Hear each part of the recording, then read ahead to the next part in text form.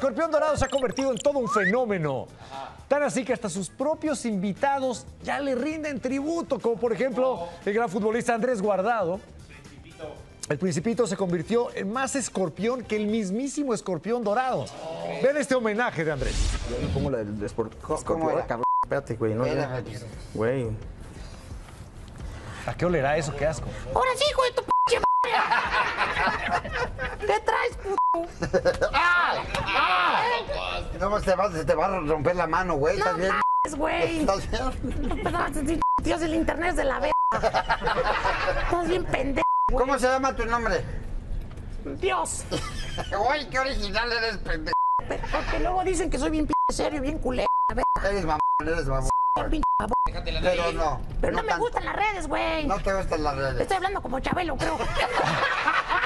Güey, te lo juro, yo me ponía pinche máscara en la selección. Tengo videos, hay un video nada más que subí en Instagram con la misma de Spider-Man, en, que ahí pegándome en el vestidor, güey, vestido igual. Váyanse la verga todos. Yo llegaba por todos y Ahora sí, hijos de su puta madre. ¿Qué pedo que quieren? igual, güey, pues copiar, me copiaste, güey. Gran Ok, tributo, ok. gran imitación. Muy bien. Fíjate, yo no sabía que Andrés era imitador. O sea, ese talento se lo tenía bien guardado. ¡Un qué chino! A ver, van dos chistes que se escriben exclusivamente para, ti, carajo. Lo que no logró guardar muy bien en esa máscara, Andrés, fue, fue su nariz, ¿no? Pero no lo culpo. Digo, ¿quién soy yo para, para juzgar al señor Guardado? Ahora, verdad? después de oír a Andrés, no supe si me quería enseñar su peluche en el estuche o catafixiarme por una sala de muebles famosos. ¿O no, amiguito? Sí, sí sonaba, sin duda. Sí te salió bien, güey.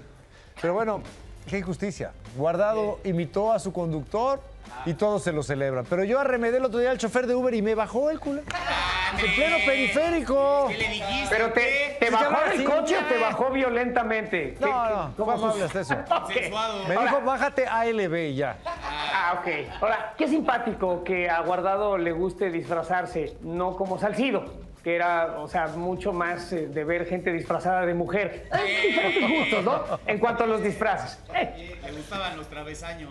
Estaba un día Andrés ¿Qué? Guardado y se salió.